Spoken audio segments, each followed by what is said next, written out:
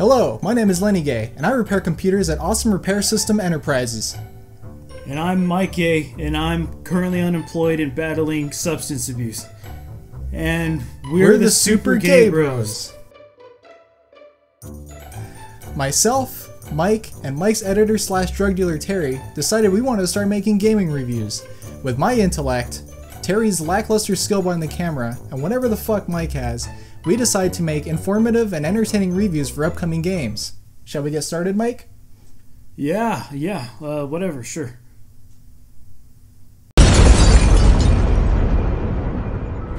If you've ever wondered what a game based on modern day America would look like, you're in for a treat, because Wasteland 3 is now upon us.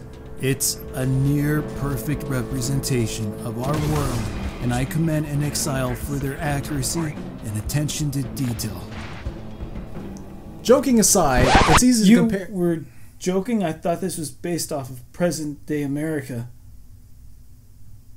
It's easy to compare many of the social issues this game tackles with many of the problems we have in today's world. That's probably what the disclaimer in the beginning of the game is for. You don't want people confusing real life with a video game, which has a cat that travels with you, smokes cigarettes, and wears a sheriff's hat. No! Yeah, good thing they have that disclaimer, right? If you ever wondered what Fallout would be like if it wasn't handed off to the Bethesda overlords, the Wasteland series is definitely it. It's an extremely deep and extremely engaging isometric RPG from inXile Entertainment, and I'm happy to say, Wasteland 3 is everything I was hoping for. If you're a newcomer to the series like myself, no worries. You're not expected to have played the previous games to fully appreciate this one in all its depressing detail. Before we jump into the juicy details of Wasteland 3, we just have to tell you guys we critique our games based off of a state of the art rating system our neighbor and editor has created for us. Uh, what did you have in mind? That system is the ASS system, or ASS for short. That's aesthetics, sound, story, structure, and last but not least, the very important social progressiveness rating. With that out of the way, let's jump into American Wasteland 3 The Quest for Peace. Let's start with the story first. You again take control of the Arizona Rangers, an outfit of lawbringers whose sole duty is to uphold peace and order in a world which has no rules. Six years have passed since the events of the last game, and the Rangers are on their last legs. Desperate for food and supplies, the Rangers are on the verge of extinction. Not unlike our situation. With nowhere else to turn, the Rangers are contacted by the Patriarch, a powerful leader who controls much of Colorado and its inhabitants, and also a guy who has his own face embedded into his currency.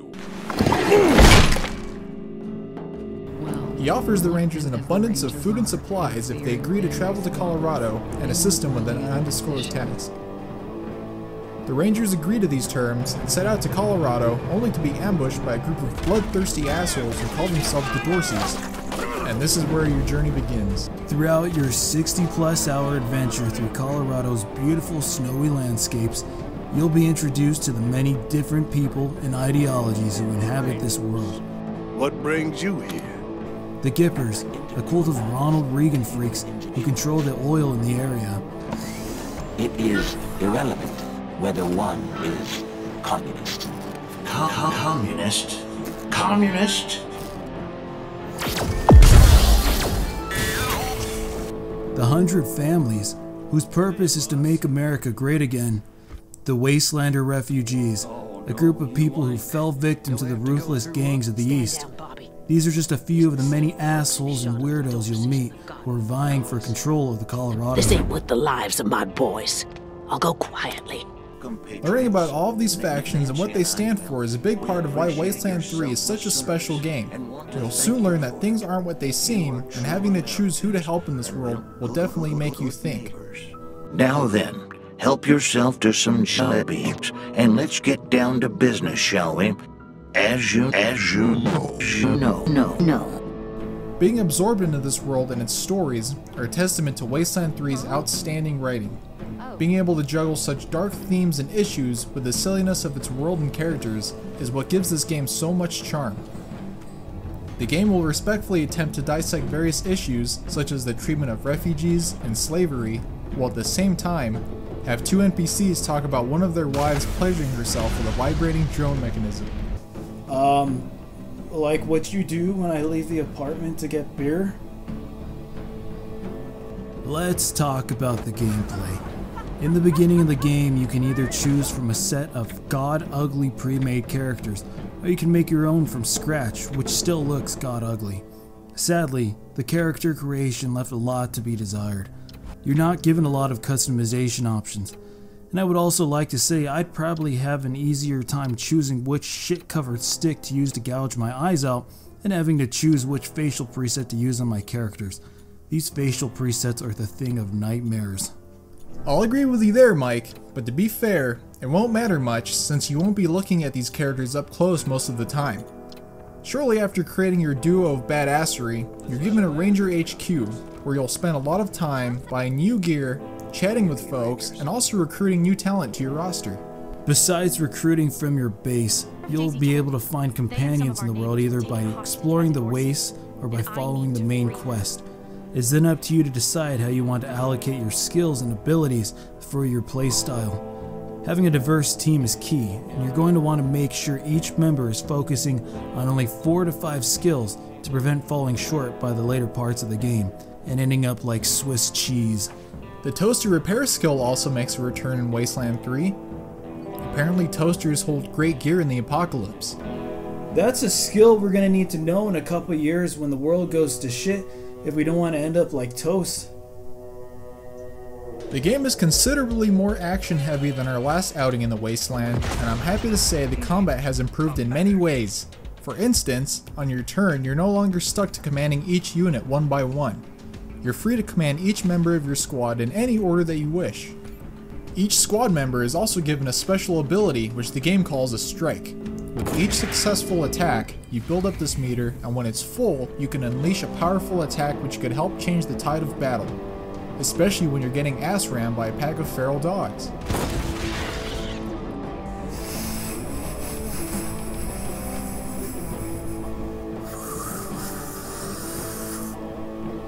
Mike, will you take this seriously? Can you not inhale drugs for 5 minutes so we can finish this review? Oh, come on, dude. As usual with these types of RPGs, player choice is the name of the game, and you'll be given numerous options on how to tackle many of its obstacles, whether it be through dialogue or before a big fight. You can use your charisma during a conversation to prevent an ass whooping. Look at you! Negotiating like proper merchants and all that. If you see a turret before battle, maybe you'll want to hack it or destroy it before it gets the upper hand. Maybe lockpick a door for a new path to your objective. inXile did a tremendous job making sure there was never only one way of accomplishing your mission. Money, of course. You know me as a generous man. Things aren't all fine and dandy with Wasteland 3 though. The camera can still be a fucking nightmare, especially if you're next to a tall building which blocks your view. The game is also rife with technical glitches, such as issuing a command in battle only for your unit to glitch the fuck out and not do anything, wasting precious action points and causing severe frustration. I've also encountered issues on the console version, such as low frame rate in certain areas and also audio lag. The biggest offender here though, is that during my 60 plus hours with the game, it crashed on me at least two dozen times. Jesus Christ. Hopefully some future patches will fix up a lot of these issues, but for the most part it didn't detract from what a great experience I had with the game. Hold up, hold up. My my throat is too dry from too much ash. I need a beer. Hold on. Hey Terry, can I get a beer? Thanks, dude.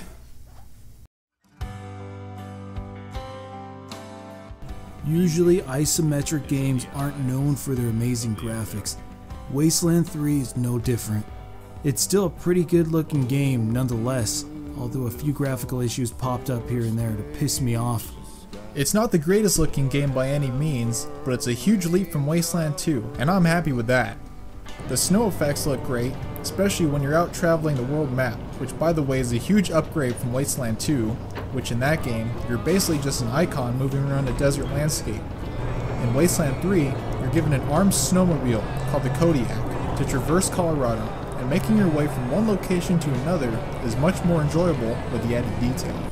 Shifting from the desert landscape of Arizona to the snowy mountains of Colorado was an interesting choice for inXile to make. Thankfully, this change of scenery breathes new life into the series, which is so ironic since the world of Wasteland is so depressing and mostly everyone is dead. I noticed the game took on a more somber tone compared to Wasteland 2. Even the menus reflect this change with a darker, more ominous tint to them. Locations are packed with so much more detail this time around, and it really helps to show off a more lived in world. I found a lot of joy just slowing down to take in the scenery. The game even incorporates fully mocap conversations for the first time in the series, and it really adds a lot of life to the world. What I do to you, the Dorsey's gonna do to all of Colorado. So squeal all you want. No one's coming to save The game does unfortunately struggle with texture popping, and some of those textures can be somewhat muddy. And it seems the game struggled to keep a consistent frame rate during certain times, even when nothing was really happening on screen. I mean, what the hell? The character models could have also used some work, because some of these people are almost as ghoulish as you, Mike. Go fuck a waste worm, Lenny. As is customary with these types of games, they are usually dialogue heavy. Thankfully, the voice acting is outstanding, and even better, every line is fully voiced this time around. Perhaps Microsoft's acquisition of inXile gave them the extra manpower to be able to pull this off. Razors? What are you doing here? I heard you was off in Colorado or somewhere. Each and every line of dialogue is acted out with so much emotion and passion, and it boosters the already great script even more. Each character you meet, whether friendly or batshit crazy, is so likable, in large part due to the great voice work. The music ain't bad either. The ambient tracks get the job done, but some of the original songs felt a little out of place, and it sometimes made me want to quickly finish a battle so my ears would stop bleeding. I stopped going to the bazaar, a trader's haven, primarily because their depressing rendition of the song Monster Mash became so fucking annoying. Even after Vlad the Impaler was offering me 30% off all items, I just couldn't stand it anymore.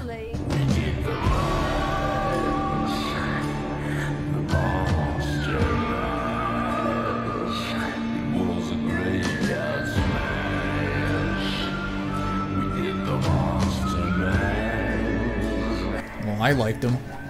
Put them on my 2007 iPod Nano. The sounds of the guns and creatures also have noticeable improvements. Each gun has more of an impact to them, especially your Kodiak's weapons, which sound absolutely devastating. There's also a few things more satisfying than the ping when you kill an enemy. We encountered some glaring audio glitches throughout our time with the game, such as sound bites repeating non-stop which made me begin to wonder if I just smoked too much weed. Some audio lag which made some characters sound like the robot from Black Sabbath's Iron Man.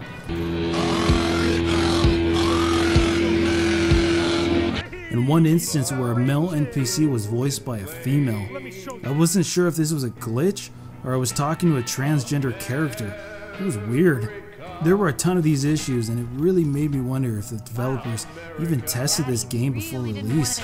This game was honestly a glitch powerhouse at release, and I could have made a three page list of all the shit I encountered with the game.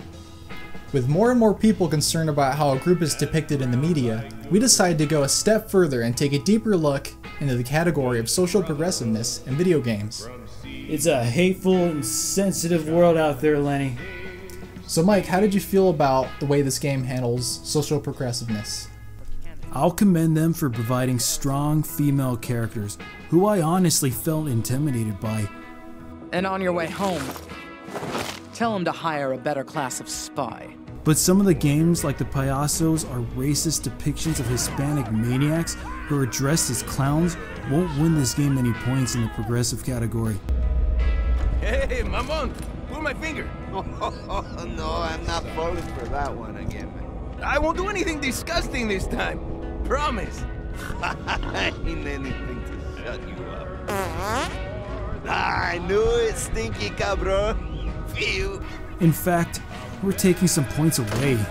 Another group we felt that the developers depicted in the most racist way possible, like super racist, are the synths. Synths are robotic monstrosities with a conscience, and are often viewed as horrible monsters you just want to kill. The game even has missions where you go on racist hunts for rogue synths, and you must kill them. It's like the KKK for robots. We cap them as soon as we see them. Don't give them a chance to talk. And the game has slavery in it. Like, come on. What is this, the year 1864? Jeez. But given that this game takes place in a fictional wasteland, a direction the US may or may not be headed, where there are no rules or laws, is forgivable. So how would you rate this game, Mike?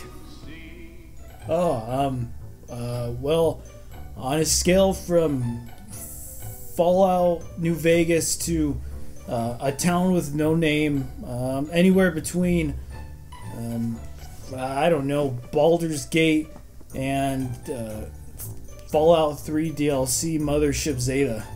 That's a great critique, Mike, but I don't think anyone's gonna understand what the fuck you're talking about. So just just tell us if you would recommend this game or not.